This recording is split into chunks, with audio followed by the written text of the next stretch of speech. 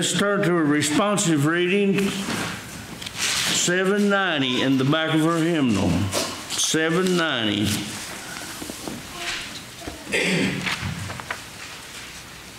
Psalm 66, verses 8 through 20. And we will read it responsively. Bless our God, O peoples. Let the sound of God's praise be heard, who has kept us among the living and has not let our feet slip.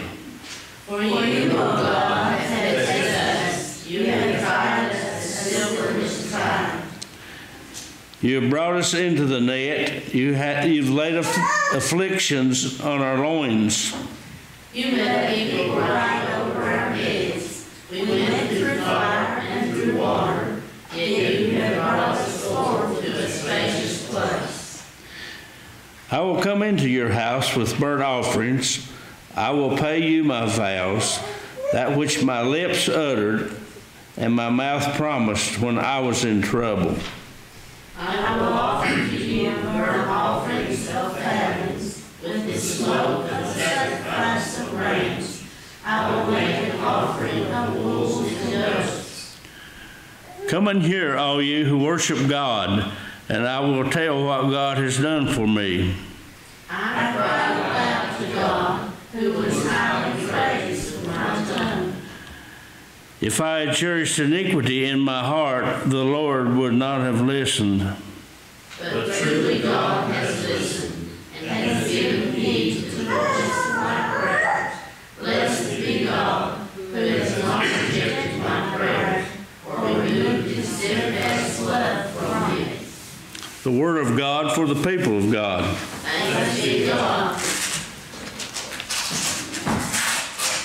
This time, Paul will bring us a lectionary reading.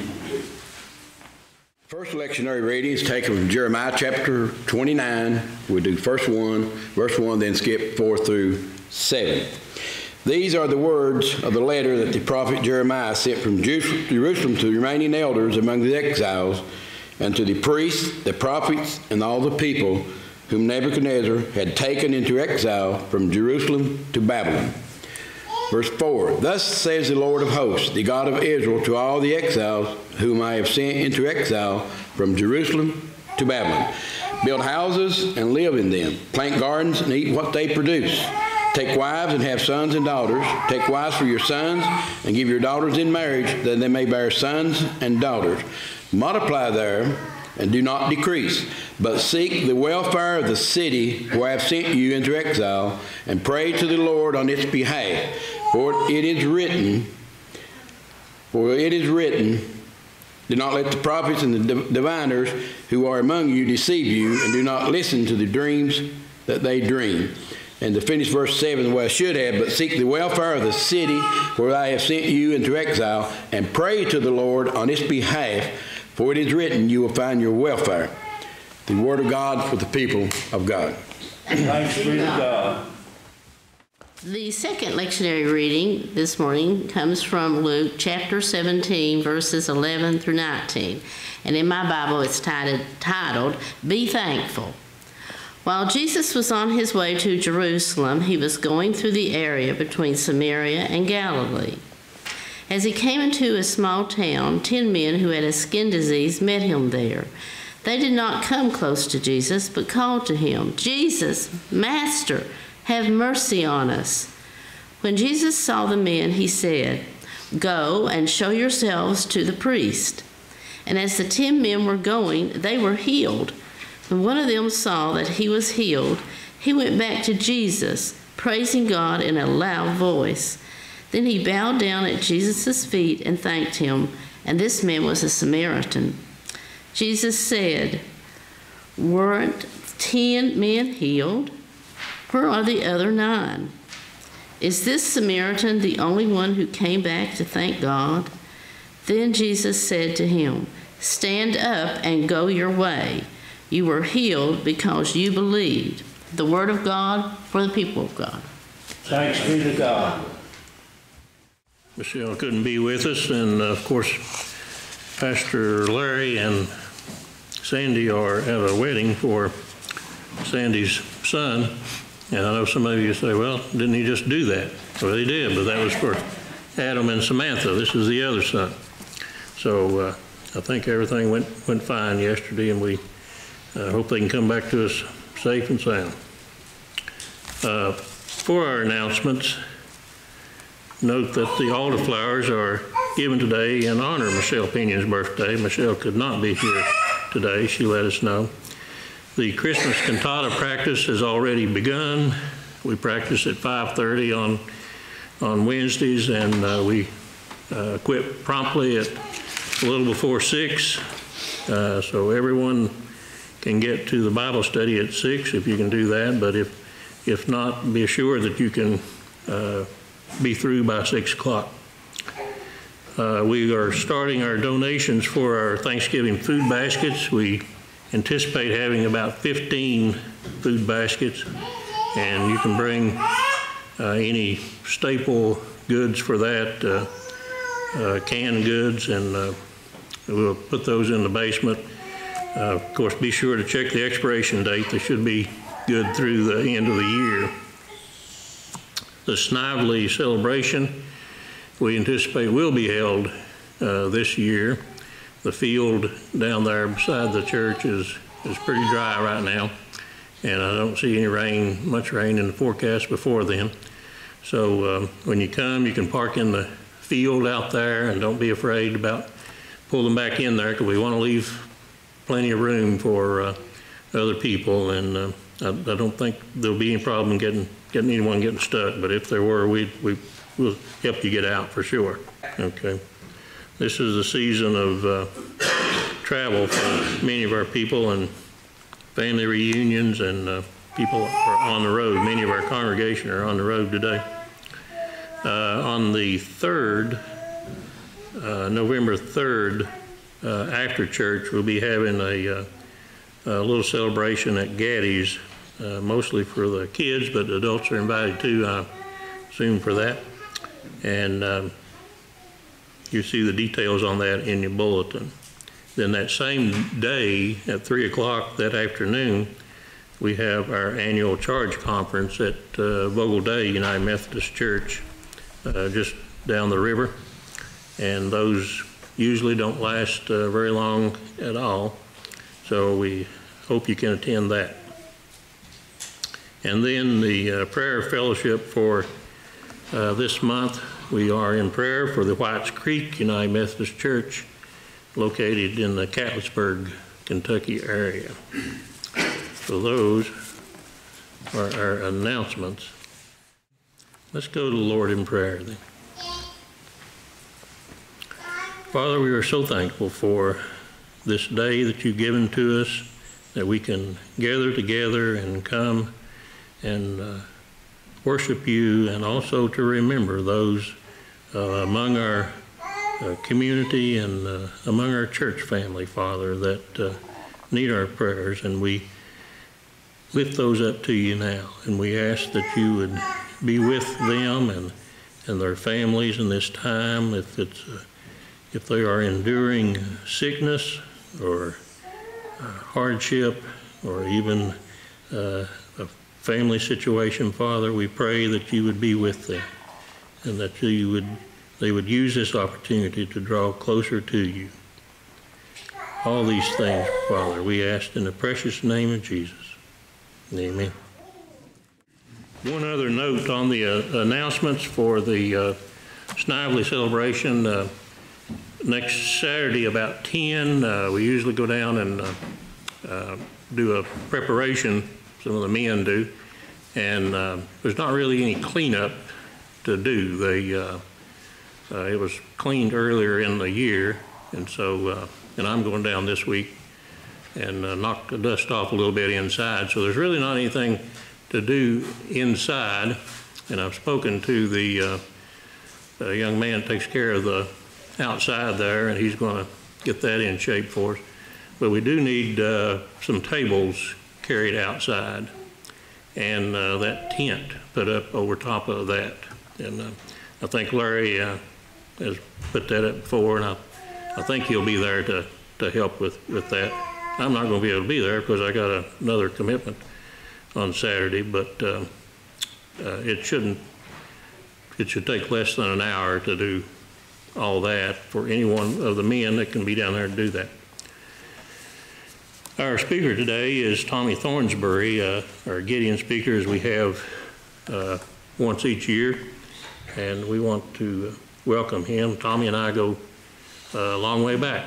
Tommy was a uh, trumpet player also, and he and I played together in the uh, Pikeville College band for a while. I think uh, Tommy was maybe from the Elkhorn City area at, at that time. Uh, I think he's with Pikeville Church now. And uh, I don't know how long he's been with the Gideons. Maybe he'll, he'll tell us that. But uh, it's a wonderful organization, and we're looking forward to hearing the message that, that Tommy would have for us. Please welcome.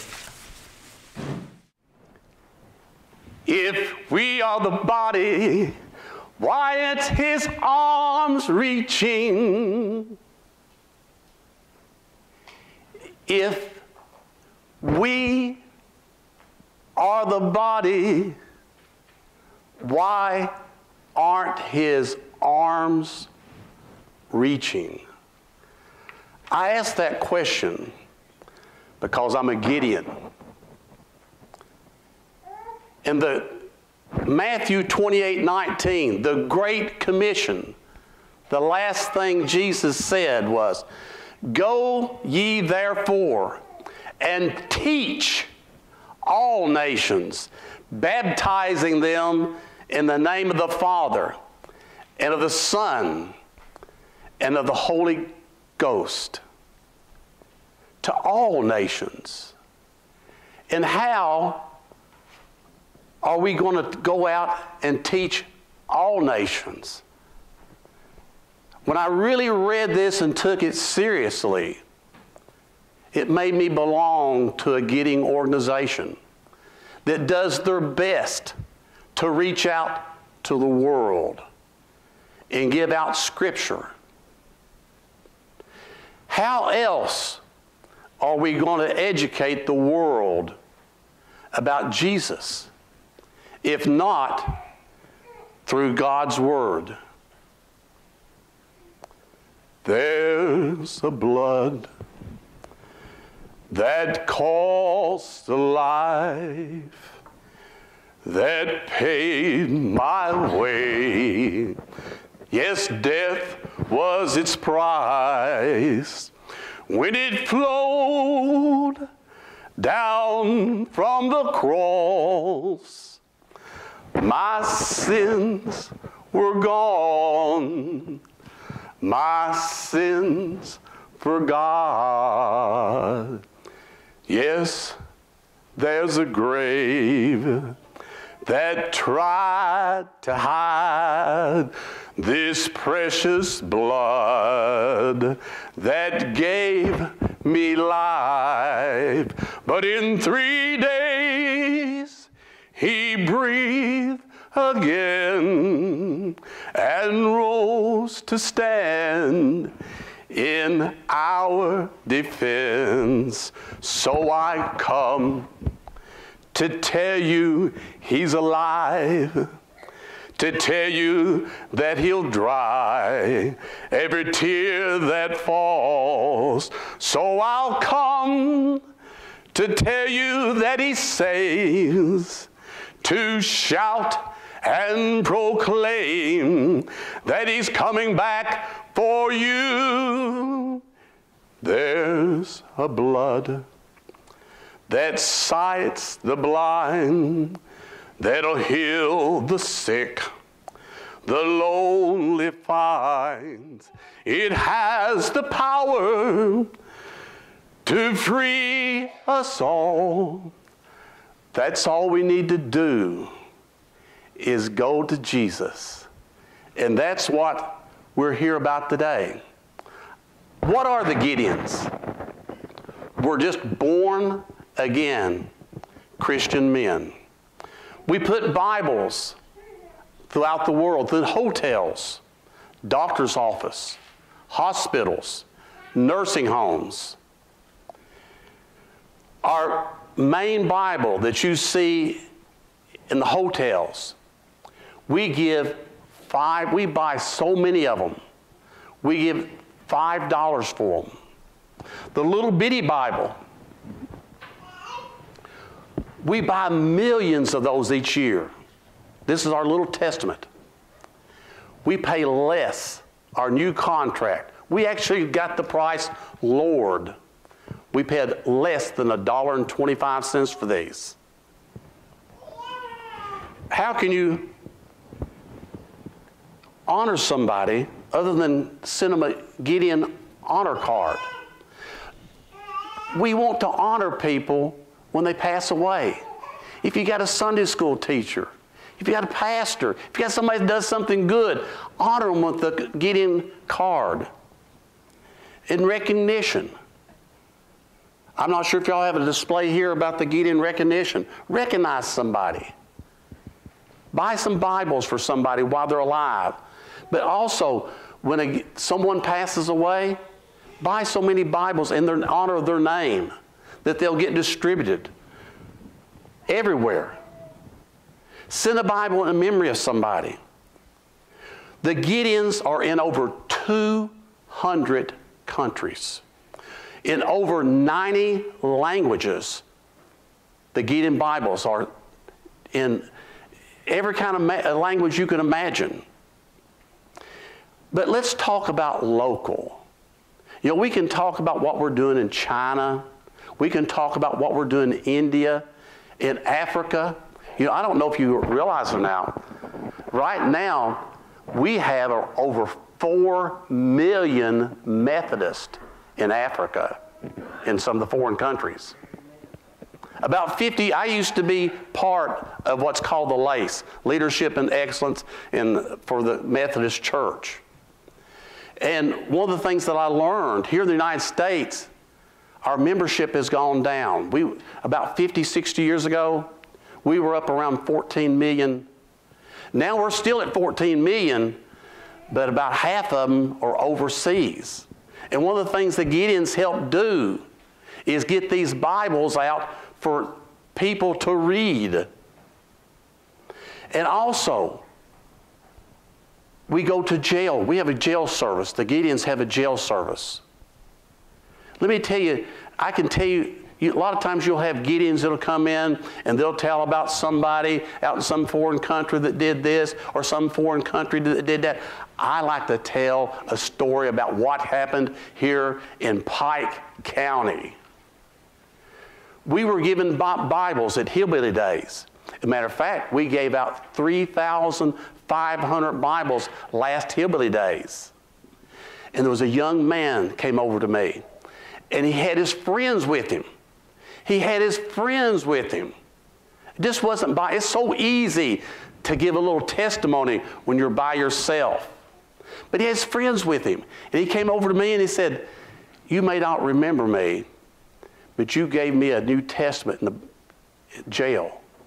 A nice looking young man, probably about 23. He said, and I took it to heart. I found me a church. I've been baptized. And he's telling this right in front of his friends. Now, my daughter goes to Trinity. I'm a Methodist. My daughter goes to Trinity. On Easter, she asked me to go to church with her.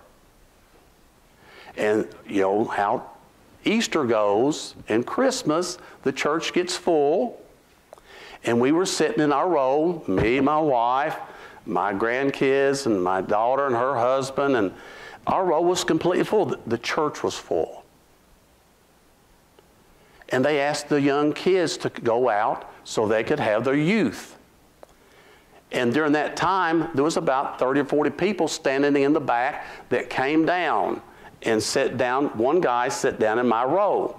It was me, my wife, grandson, and this guy. And I leaned over to my wife and I said, I think, and you might not hear me, I think I know that guy. I think I used to referee football, boys basketball, girls basketball, baseball, fast pitch girls softball, used to do it all. I said, I think I used to referee at that guy. Well, after the church service was over, He stood up and he said, he shook my hand and he said, You gave me a Bible out, a Gideon Bible, just a few months ago. You told us that once we got out of here to find a church, he said, I found me a church. I've been baptized. So, yes, the Gideon's Bible, he, it wasn't anything I said that night. It was that Bible I gave to him, let him read. And he found out for himself about the story of Jesus. And it made a difference in his life. We have the opportunity to make a difference in somebody's life, but we've got to do something about it.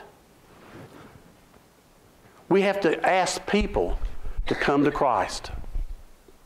As a Gideon organization, we, the Gideons, need your help. Pray for open doors. Pray for open doors. What do I mean by open doors? We used to go into the schools. I used to work for the school system. You have some teachers here that work for the school system, used to work for the school system. We give, gave Bibles out to fifth graders and the seniors. We're no longer allowed to do that. What did it take? One letter. One letter from the ACLU making a little threat. Now we cannot do it. So we need your prayers. We need your prayers to, for us to get back into the school system and give out Bibles. When we, when we go there, we don't preach, we don't do anything, we just give out a Bible. If God has spoken to you, we need your financial help. Last year, the Gideons gave out over 80 million Bibles. We gave out 3,500 at Hillbilly Days. We went up to the college and we gave up out about seven or 800 of them. So we'd appreciate any help that you could give us. And why do we need your help? Because of the Great Commission. Go ye therefore and teach all nations. That's what the Gideon organization is trying to do. Please help the Gideons. Please help us spread the word. Now, I've also been asked to do a little message while I'm up here. We need to get out of the boat. We need to get out of the boat. That's what Jesus said to Peter. We need to get out of the boat. Can you imagine us being on that boat with Peter? And Jesus said, Come. Not only did he say, Come, he said, Il me. And that's another story, but that's, that was saying, It is I. That goes back to Exodus, the burning bush. The burning bush, God said, It is I. Jesus was declaring that he was the God. John 19, 25 through 27, the NIV version says, Near the cross of Jesus stood his mother, his mother's sister, Mary, the wife of Clopas, and Mary Magdalene. When Jesus saw his mother there and the disciple whom he loved standing nearby, he said to her, Woman, here is your son. And to the disciple, here is your mother. From that time on, this disciple took her into his home. I love the story of Peter. Now, John was the disciple, the beloved disciple. And my story today is where was Peter? So many times I fall so short. I fall, I fail. I fail to witness when I, when I should. I make mistakes. So when I read about the Bible and I see where Peter made mistakes, it makes me feel good that these disciples lived with him. They worshiped with him. and yet they made mistakes. All the disciples had to abandon, except the beloved disciple, John. Peter, Peter, nowhere to be found. Remember, Peter was his rock. But where's Peter? Let's go back in time just a little bit. Peter had seen Jesus heal many, many people. Peter had seen Jesus raise three people from the dead. Jesus walked on water with Peter. Jesus fed 5,000. Jesus, as the scripture said this morning, had just healed 10 lepers. Now, only John was there. Where was Peter, his rock? When Jesus sent the two disciples to prepare for the Last Supper, supper who did he send? Peter and John. At Gethsemane, Jesus took three disciples with him to pray, his little private prayer. Peter was one of them. Jesus told Peter that he would deny him three times. Peter said, Jesus, Jesus told Peter, You're going to deny me three times. And Peter looked at him and said, I am ready to die for you, Jesus. I'm ready to die for you. But when it came time, where was Peter? I love the story of Peter. Satan is always at work on us. He was at work with on Peter that night. Satan tempts us with money. He tempts us with gossip. He tempts us with leading us down the wrong path. And he tells us that it's okay to wait till tomorrow. There's a great story about Satan. Satan told, brought his best three demons to him. He said, I want to fool the Christians. Go out and find me some way to fool the Christians. So the demons left. And a few days later, Satan called them back, said, I want to find out what you want to do. The first demon came to Satan and said, Let's just tell them there's no Jesus. Satan said, That won't work. Everybody knows there's a Jesus. My, I know there's a Jesus. This is Satan talking. I know there's a Jesus. That's not going to work. One of the other uh, demons said, Well, let's tell them that Jesus didn't raise from the dead. Satan said, That won't work. 500 people saw Jesus at one time. The disciples have seen him. Many people saw Jesus after he was resurrected. The third demon went to Satan and said, Let's tell him to wait till tomorrow. Satan looked at him and said, I'll give you anything you want. Because that's what life's about.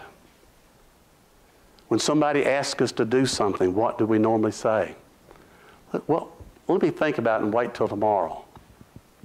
I remember as a young man, I was sitting in a church and I was sitting beside a Christian. I wasn't a Christian. And they were doing a hymn, hymnal there at the end to call people up, just as I am. And the guy beside me said, You probably need to go up. And my response was, I'll, I'll, I'll think about it, I'll wait. How many times do, do you know that somebody waits and puts it off until tomorrow?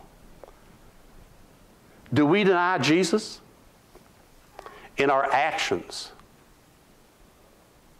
they asked Jesus, what the two great commandments? Love God and love your neighbor. Do we love our neighbor like we should? Who is our neighbor? Do we witness for Jesus? Well, I'm afraid I might upset somebody if I witness in front of them.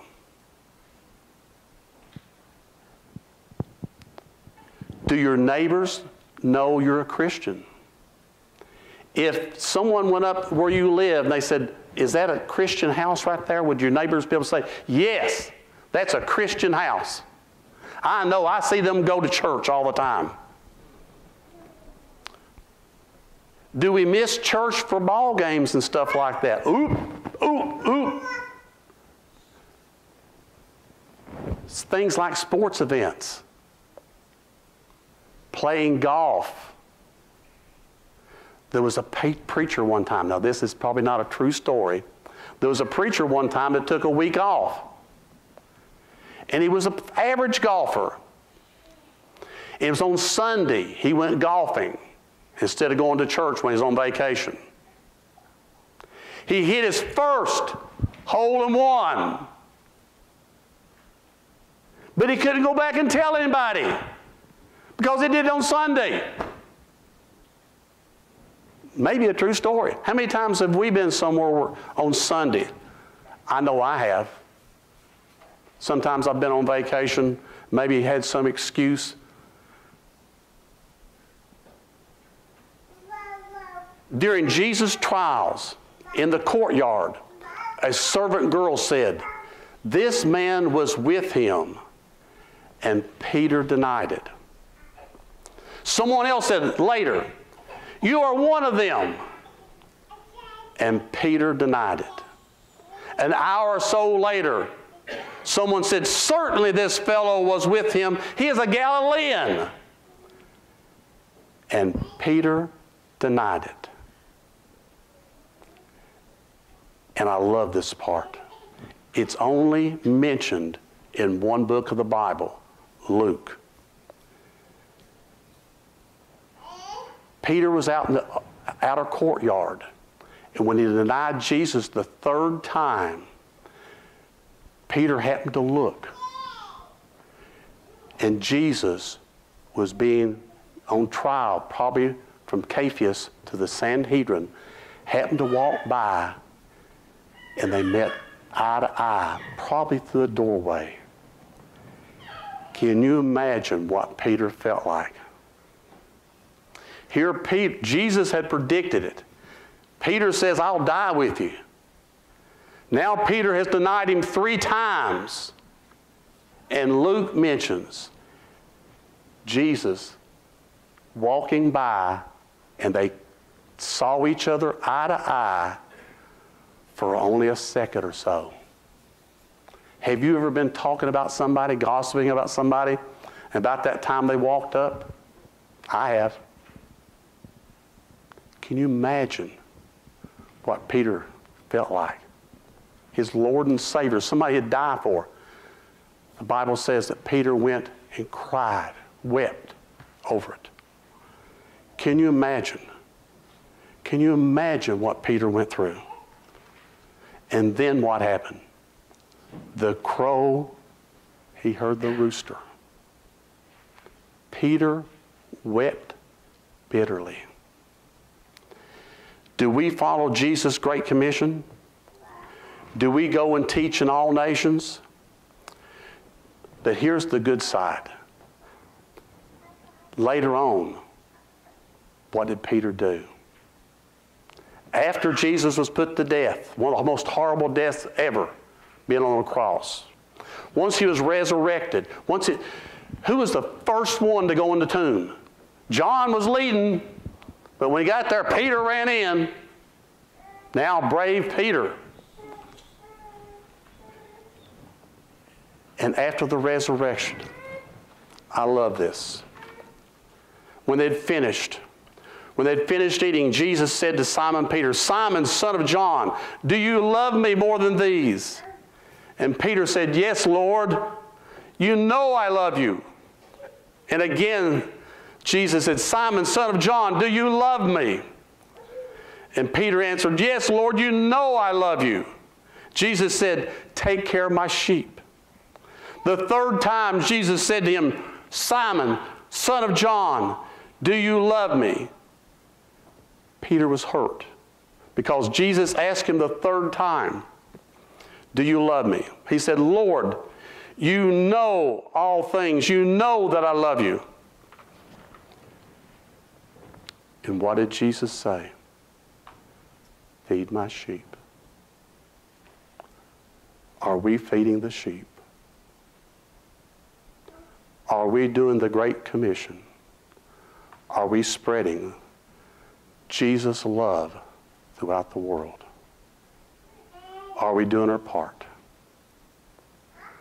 I don't know about you guys, but we need to try our best. This world is getting really, really messed up. We need Christians. We need, we need to spread the word of love. Remember, Jesus said, Love God and love one another. If we did this, what a beautiful, beautiful world it would be. Yes, there's a blood that cost a life that paid my way. Death was its price. Thank you. Let's pray. Father, we ask your blessing upon this group as we go from this house into the community, and we pray that you would give us the courage and the wisdom to speak a word of testimony as Brother Thornsbury has laid upon our hearts today so powerfully. Make it so in our lives, Father, that we might do so. For it's in Christ's name we pray. Amen. Amen.